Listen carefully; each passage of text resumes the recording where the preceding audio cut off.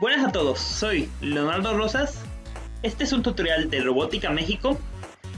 El tema que trataremos hoy, introducción al piezo. El objetivo va a ser entender el funcionamiento de esta pieza y poder instalarla en una placa de pruebas Arduino.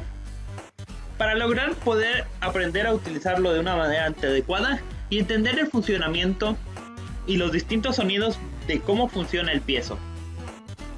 Espero que con esta información eh, aprendamos algo más sobre robótica. Hasta luego.